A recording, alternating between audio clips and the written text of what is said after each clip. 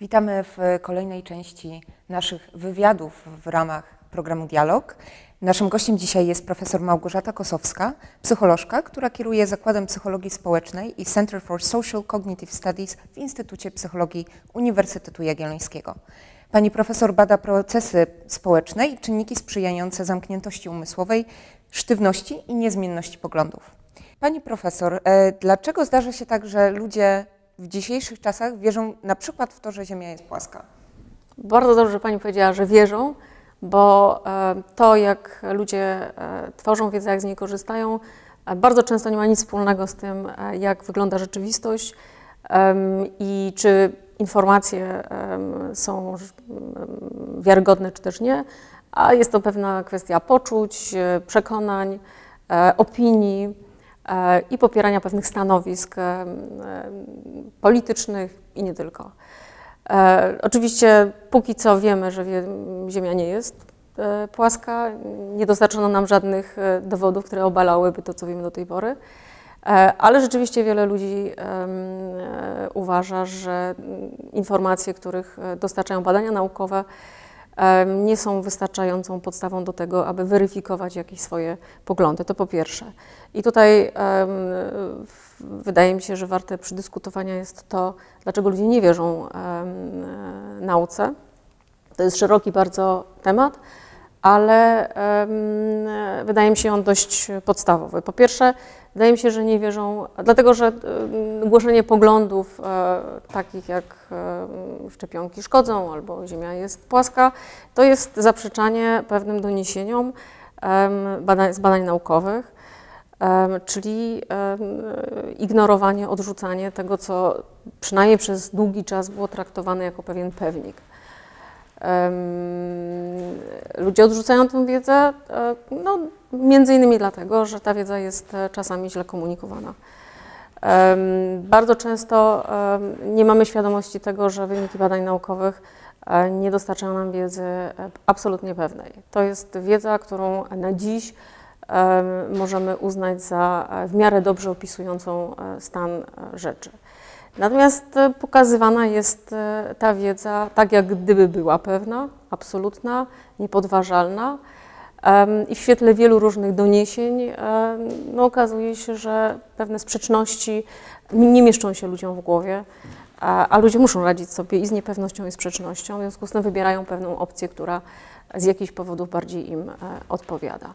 Zaufanie do nauki to jest kwestia zaufania także do źródła informacji. Często informacja jest podawana przez e, e, wcale nie samych naukowców, którzy notabene też dobrze się e, z ludźmi nie komunikują i rzadko kiedy potrafią o swoich doniesieniach mówić w sposób komunikatywny, jasny, zrozumiały, ale także taki, który nie jest, nie wskazuje na cały szereg różnych nie, niepewności i wątpliwości. No, naukowiec nigdy nie jest niczego pewien, ma cały szereg wątpliwości, im więcej ma wątpliwości, tym jest lepszym naukowcem. Komunikowanie tych wątpliwości sprawia wrażenie, że albo mamy do czynienia e, nie z prawdziwym naukowcem, albo z nieekspertem, albo z kimś, kto nie stosuje odpowiednich e, narzędzi e, badawczych czy też poznawczych. Jeżeli ludzie nie są odpowiednio przygotowani do konsumowania tego typu informacji, no to po prostu je odrzucają. I to jest bardzo adaptacyjne zachowanie, nie ma w tym nic e, nadzwyczajnego. E, druga sprawa, która w tej dobie powszechnej informacji e, czyni nas nieodpornymi na informacje nieprawdziwe, to jest e, fragmentaryczne podawanie tej wiedzy przez e, no, zarówno instytucje, które finansują badania, dobrze się jest pochwalić, że sfinansowało się badania, które mają znaczący wpływ i coś ważnego wnoszą. I znowu nieumiejętne komunikowanie sprawia wrażenie, że mamy do czynienia z jakąś prawdą, która okazuje się za chwilę nieprawdą. Mamy do czynienia z upolitycznieniem pewnych informacji E, bardzo dobrze wykorzystuje się pewne fakty, e, no właśnie po to, żeby przekonać e, potencjalnych wyborców, ale nie tylko do swoich racji czy swoich stanowisk. Formułuje się przy okazji ten przekaz tak, żeby on pasował do ogólnego światopoglądu i był łatwo przyswajalny i przyjemny, bo to też e, afektywnie ten afekt ma tutaj spore znaczenie. Ludzie nie ufają także dlatego, że wiedzą, e, że jeżeli badania są finansowane przez e, biznes, przez duże korporacje, no to można mieć pewne podejrzenia co do wiarygodności tychże badań. A w dobie, kiedy e, finansowanie nauki także jest skomplikowane i część badań naprawdę jest wykonywana za pieniądze, które pochodzą e, ze źródeł no, poza, e, poza państwowych, pozanarodowych, stanowi pewien kłopot. No i w końcu myślę to, że ludzie są trochę zagubieni w poszukiwaniu wiarygodności, w poszukiwaniu tego, co można uznać za źródło. Ta nasza rzeczywistość e, wymaga bardzo wiele uwagi, bardzo wiele krytycznej, krytycznej oglądu tego, skąd czerpać informacje. Nie zawsze jesteśmy do tego przygotowani, nie zawsze umiemy to robić, nie zawsze też mamy dobre wzorce. Wspomniałyśmy tutaj między innymi o na szybko opisanych headlinach e, przez prasę. Jak sobie radzić w takim wypadku w dobie internetu, gdzie co chwilę spotykamy kolejne fake news bądź potencjalnie fake news? Czy są jakieś wytyczne, po, dzięki którym ułatwiamy sobie sprawę wyszukiwania takich informacji albo ich przyswajania? No, gdyby tak e, było, to myślę, że e, połowa naszych problemów społecznych byłaby rozwiązana. E, myślę, że ciągle jesteśmy w dobie analizowania tego, jak ludzie się zachowują w kontekście wielu różnych informacji, łatwego dostępu właściwie do wszystkiego, co tylko można sobie wyobrazić. Jeżeli chodzi o badania naukowe, tych jest sporo, ale konkluzji które pozwoliłyby na jakieś tutaj przewidywania, pewnie nie ma za wiele. No, mówi się o tym, że e, przede wszystkim trzeba podnosić świadomość tego, jak bardzo jesteśmy poddatni na ten cały zamysł, zamęt e, informacyjny. Czyli podnoszenie świadomości to jest zresztą coś, co mnie się od zawsze wydawało, że tak naprawdę w edukacji nie jest istotna, chociaż pewnie też nie jest istotna, ale nie, nie jest istotna treść, tego, co się ludzi uczy, a bardziej istotne jest to, jak ich się uczy.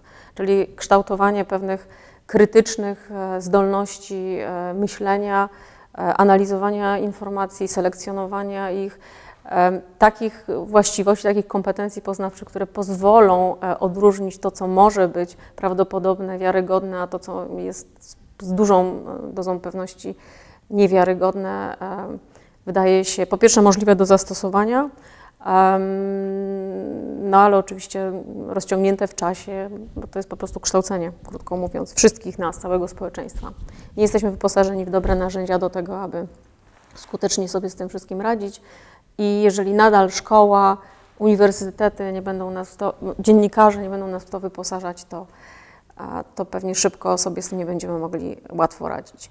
Druga rzecz to są e, różnego rodzaju e, zabiegi, które nakazują nam być ostrożnym wtedy, kiedy czytamy coś, co nie pasuje do takiego ogólnego, szkolnego kanonu, e, kanonu wiedzy. No wtedy, kiedy mówimy o wiedzy naukowej. Jednak szkoła dostarcza pewne, pewnych informacji, które można uznać za kanon. Możemy dyskutować, jakieś subtelności pewnie można swobodnie poddawać pod dyskusję, natomiast e, no, takie, tak, taki trzon naszej wiedzy zdobyty w szkole, e, no, jest drogowskazem. Do tego jakoś możemy się odnieść, możemy e, odnosić informacje do tego, co, co jest e, w tym kanonie. I wszelkie informacje, które gdzieś tam nakazują nas, nam być ostrożnym, bo informacje te nie pasują, albo są sprzeczne, albo są jakoś niepasujące do tego, co do tej pory przynajmniej było wiadomo, sprawia, sprawiają te informacje, że powinniśmy być ostrożni i tyle. To nie znaczy, że nie powinniśmy być e, poszukujący, ciekawi, weryfikujący, wręcz przeciwnie. To oznacza tylko tyle, że powinniśmy być ostrożni i powinniśmy w związku z tym bardziej e, ostrożnie do różnych informacji podchodzić. To też jest pewien rodzaj kompetencji e, chyba poznawczych, które powinniśmy kształcić. No, ogromna rola e, ludzi, którzy w mediach pracują, takich czy innych. Nie ma już w tej chwili rola mediów mainstreamowych, myślę, że się skończyła. Nie ma tego, co dawniej się nazywał gatekeeperem, czyli kimś, e, czyli takiej roli, która pozwoliłaby odsiać plewy od ziaren, tak, dokonać tej wstępnej selekcji i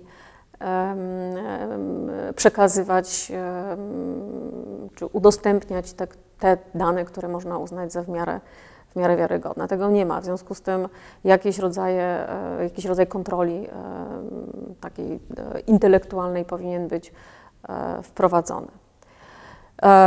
No i te wszystkie, to, to już wtedy, kiedy wiemy, że pojawiają się informacje, które E, są na tyle atrakcyjne, ale także, które przyciągają uwagę, ale także w jakiś sposób nie, pasujące do e, naszych różnych wyobrażeń o świecie, powinniśmy je po prostu sprawdzać. Jeżeli odkrywamy, że one są nie, nieprawdziwe, niewiarygodne, niewystarczająco wiarygodne, powinniśmy je dementować. No, ale znowu mamy badania, które pokazują, że to dementowanie nie jest e, często skuteczne. E, testuje się wiele różnych procedur owego e, odkłamywania, ale myślę, że jeszcze za wcześnie powiedzieć, jak to trzeba by robić, żeby robić skutecznie. W psychologii znane są e, dwa pojęcia, takie, które chciałabym może przybliżyć naszym widzom, czyli potrzeba domknięcia poznawczego i skąpstwo intelektualne. Czy pani profesor mogłaby troszeczkę przybliżyć, na czym te pojęcia się opierają? Tak, ale może najpierw powiem skąd, dlaczego akurat te pojęcia w tym kontekście, o którym mówimy, są ważne. Bo ja zwróciłam uwagę na to, że ludzie wierzą e, w różne czasami głupstwa, no, dlatego że mają ograniczone zaufanie do, e, do, do nauki, do naukowców, a także do tych, którzy promują informacje naukowe. Nie powiedziałam jeszcze wtedy, przy okazji tego zaufania o tych różnych skandalach, które światem naukowym od czasu do czasu e, e, wstrząsają, gdzie wskazuje się na pewne nieuczciwości, pewne wadliwe, nieuczciwe praktyki, które badacze stosują z różnych zresztą powodów. No to też sprawia wrażenie, że z tą nauką jest coś nie tak, a w związku z tym nie ma wystarczających powodów, żeby e, ufać wiedzy naukowej i temu, jak ona jest pozyskiwana. To, co wydaje mi się tutaj e, istotne, to to, że to jest jedna część tego tematu. Druga część tego tematu to jest e, dostępność e, informacji, powszechność informacji, to, że informacja jakakolwiek zyskuje porównywalny status z najbardziej sprawdzoną i zweryfikowaną informacją w sieci. Ten, ten, egalitaryzm sprawia, że no właśnie, potrzebujemy odpowiednich kompetencji e, intelektualnych, poznawczych, bądź dobrego wsparcia i pomocy. Czy też autorytetu. Tak jest, autorytetu, żeby sobie z tym wszystkim e, radzić.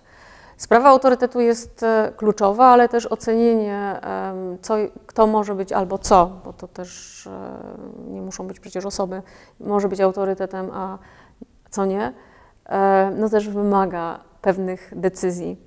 E, dawniej to było wszystko proste, wiadomo komu wierzyć, komu nie. Dzisiaj raczej kierujemy się pewnymi przesłankami, często natury kompletnie niepoznawczej, nieintelektualnej, wybierając te źródła, którym ufamy. E, I to jest drugi obszar zagadnień, równie skomplikowany co pierwszy. A trzeci to jest to, w jaki sposób działa e, nasz umysł, jak, w jaki sposób on funkcjonuje, w jaki sposób odbieramy informacje, jakie informacje zyskują znaczenie, dlaczego akurat wybieramy te, a nie inne.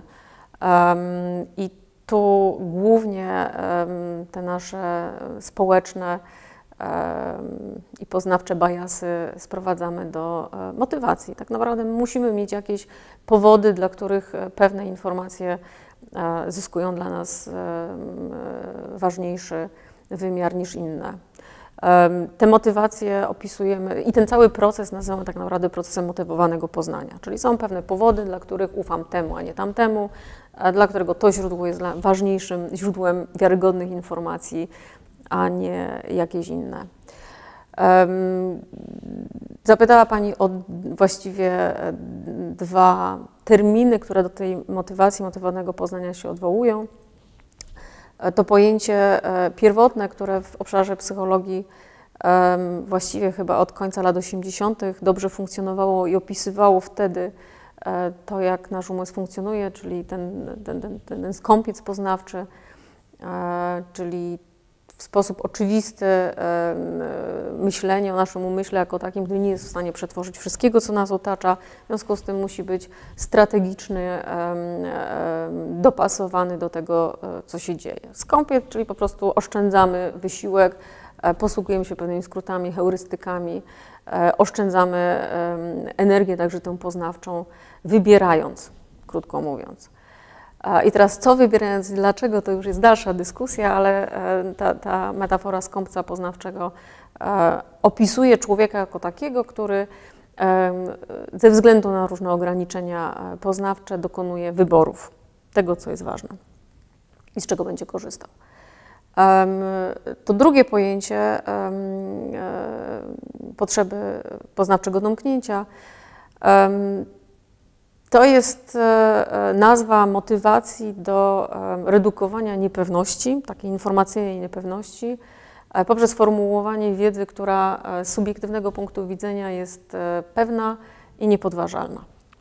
To jest trochę taki, takie ujęcie człowieka jako takiego, który poprzez formułowanie wiedzy zyskuje e, pewność, że rozumie, co się dzieje wokół niego, że rozumie, jak świat funkcjonuje, że są pewne prawa, do których się może odwoływać, w związku z tym może zaprojektować swoje e, funkcjonowanie i z pewną dozą prawdopodobieństwa się nie pomyli. Ta niepewność jest opisywana na różne sposoby, także za pomocą modeli biologicznych. Natomiast ta wiedza, to co ludzie wie, wiedzą, w co wierzą, bądź z czego korzystają, formułując opinie czy sądy, to jest pewien mechanizm pozwalający czuć się e, właśnie pewnie, czuć się w sposób e, no, taki, że kontro, mieć poczucie kontroli nad rzeczywistością, krótko mówiąc. I teraz e, znowu badania, no już w tej chwili prawie no ponad 30 lat tych badań nad e, e, oboma zresztą konstruktami, które prowadzone były w psychologii, pokazują, że po pierwsze nie jest do końca prawdą, że człowiek zawsze dąży do prostoty, że to jest tylko jeden z motywów. Czyli są takie sytuacje i one są bardzo częste, e, że rzeczywiście zachowujemy się jak skąpcy poznawczy i ten model redukowania wszystkiego, co jest skomplikowane, rzeczywiście jest leży u podłoża naszego zachowania. E, ale wiemy już dzisiaj, że są także inne motywy, na przykład taki, który mówi, że czasami ludzie, dla ludzi ważniejsze jest e, to, żeby coś lepiej zrozumieć albo być poprawnym w swoim e, funkcjonowaniu, w swoim postrzeganiu rzeczywistości. To są rzadsze sytuacje i one wymagają specjalnego otoczenia, żeby te motywy były zaktywizowane, ale one się zdarzają. E, jeżeli chodzi o potrzebę e, domknięcia, to dzisiaj, po znowu 30 parę latach, wiemy, że sposobem na sprawne redukowanie niepewności wcale nie, do, nie zawsze jest e, prostota, że czasami, kiedy nie da się osiągnąć owego domknięcia, czyli zredukować, nie da się zredukować niepewności poprzez coś, co jest proste, oczywiste, jest pewnym skrótem, jest podniesieniem do tego, co wiadomo, ogólnie, powszechnie, ludzie mogą wtedy podejmować bardzo skomplikowane, złożone działania właśnie po to, żeby zyskać ową pewność. Czyli to są dwa e, jakby sposoby funkcjonowania umysłu, które mają różne źródła, tak, ale są motywacją, która sprawia, że czasami funkcjonujemy w sposób prosty, upraszczając tą całą złożoność, która nas otacza, a czasami wręcz przeciwnie. Zastanawiam się, jak społeczność internetowa i sam internet wpływa na te nasze motywacje. Z jednej strony mamy otwartość do wyszukiwania informacji, sprawdzania, czy te badania były replikowalne, te, na które się w danym momencie powołuje na przykład prasa albo powołujemy się gdzieś w dyskusji, a z drugiej strony mamy też społeczności, które wręcz sobie przyklepują, jeżeli chodzi o, no załóżmy właśnie, płaską ziemię albo chemitralsy na, e, na niebie. I czy pani profesor wie może albo, albo zastanawiała się nad tym, jaka ta motywacja w dobie internetu mm, najczęściej dominuje? Znaczy, w ogóle nie ma jakiejś jednej motywacji. E, ludzie są motywowani na różne sposoby, w różnych sytuacjach i różne sytuacje inicjują różne motywacje. Czyli krótko mówiąc, trudno powiedzieć, że coś jest częstsze, a coś jest rzadsze. E, myślę, że po pierwsze e, internet, to co daje internet, to dostęp, łatwy dostęp do różnych informacji, natomiast to jak z nich korzystamy jest uwarunkowane tym, e, jakie motywy leżą u podłoża, czy jakie cele sobie stawiamy tej całej aktywności. Bo można sobie założyć, że mamy dostęp pełen, a w związku z tym, jeżeli chcemy odpowiedzieć na jakieś pytanie, chcemy uzyskać prawdziwą odpowiedź, no to możemy, mamy wszystkie narzędzia ku temu, aby tych informacji zgromadzić jak najwięcej, odpowiednio przetworzyć. Krótko mówiąc, jeżeli jesteśmy motywowani ciekawością albo jesteśmy motywowani e, uzyskaniem najpełniejszej, najlepszej wiedzy, to możemy to zrobić. I internet po prostu dostarcza nam w sposób e, stosunkowo łatwy wszelkich możliwych danych, aby to uzyskać. Ale z drugiej strony e, możemy być motywowani do tego, aby e, potwierdzić to, co wiemy. I to jest e, tak naprawdę to, co robimy najczęściej bez jakichś dodatkowych, uruchamianych specjalnie motywów. Po prostu interesują nas pewne rzeczy, pewne źródła uważamy za ważniejsze niż inne, bardziej wiarygodne. W związku z tym ukierunkujemy, ukierunkujemy wyszukiwanie informacji właśnie w taki sposób, aby te, te, te, informacje, które nam pasują, które lubimy, które znamy, e, które nas przekonują, pozyskać. I w tej sytuacji ten sam internet sprawia, że no, będziemy się wręcz przeciwnie, w ogóle nie w sposób otwarty zachowywać, tylko będziemy ukierunkowywać nasze e, poznawanie e, no tak, aby poszukać to, co wspiera to, co już wiemy, krótko mówiąc. Skoro nauka po części nigdy nie jest taką książką zamkniętą. Mamy i paradygmaty, i cały czas nowe badania naukowe skłaniają nas do tego, żeby poprzednie założenia i wiedzę i tezy odrzucić. To czy do takiego niebezpieczeństwa poznawczego da się przyzwyczaić w dzisiejszych czasach? Ja, no, w ogóle możemy się przyzwyczajać pewnie do różnych rzeczy. To psychologia ewolucyjna bardzo ładnie to pokazuje. E, ale podstawowa sprawa to jest taka, czy my mamy e, narzędzia ku temu, aby pomóc ludziom wypracować e, pewne adaptacyjne sposoby radzenia sobie z ową mnogością informacji. No.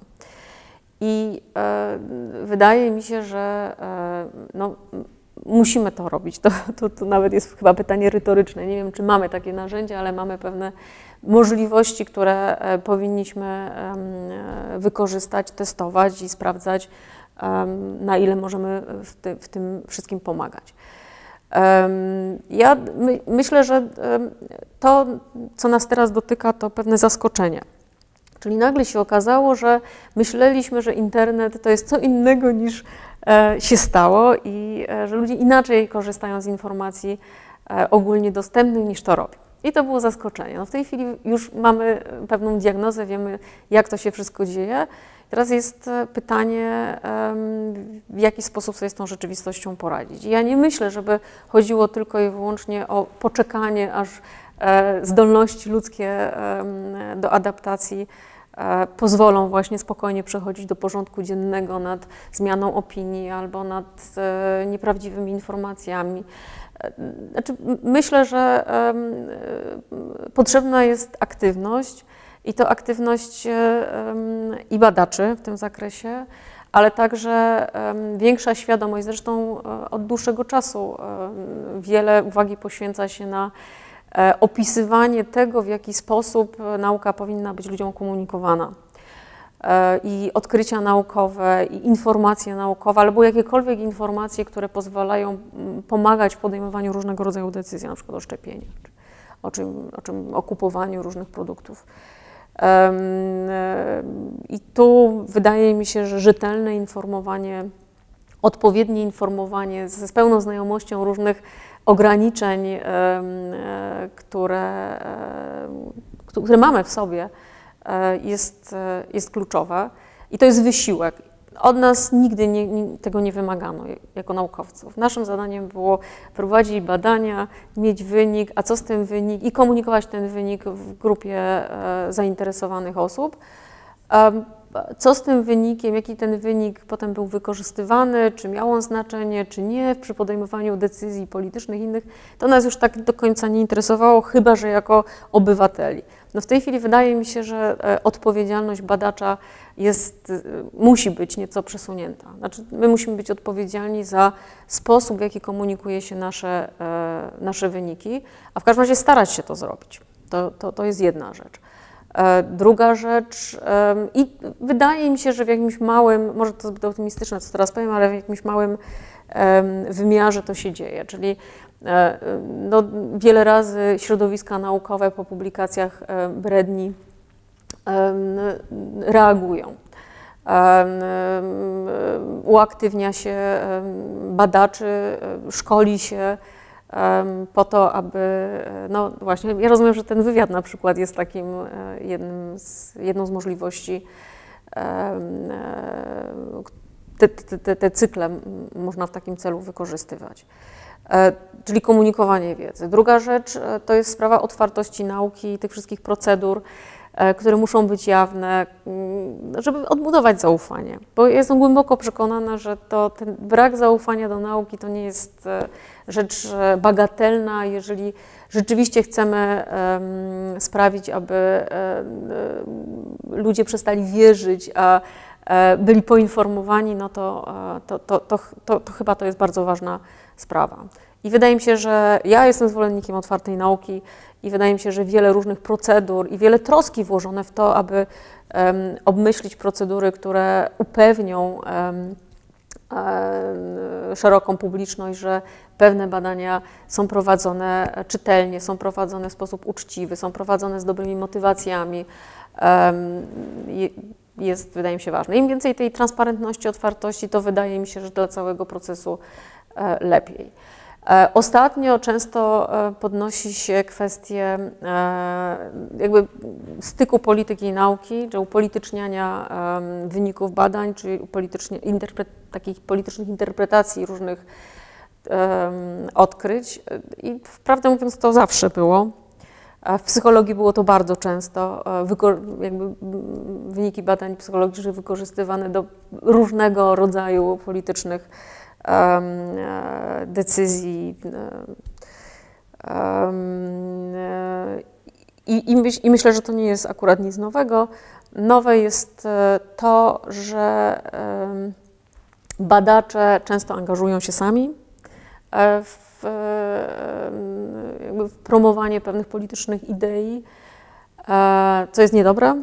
Tu powinna być, wydaje mi się, absolutna czystość. Badacze nie mogą angażować się w dyskusje polityczne, mogą mówić jedynie w sposób neutralny o faktach, ale ostatnio pojawiły się interesujące dyskusje dotyczące e, relacji między wartościami e, leżącymi u podłoża badań i dyskusja na temat tego, czy rzeczywiście jest tak, że o nauce, szczególnie w, w tych obszarach nauk społecznych, humanistycznych, czy ta nauka może być e, rzeczywiście taka obiektywna i neutralna.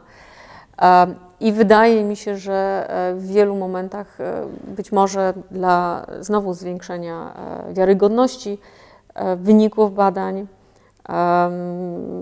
czasami jest być może łatwiej i lepiej powiedzieć, że tak, że u podłoża pewnych stawiania pytań czy pewnych badań leżą pewne wartości. I te wartości są takie i takie bo to wydaje mi się też w sposób uczciwy pokazuje motywację badacza, które potem także mogą stać się przedmiotem debaty.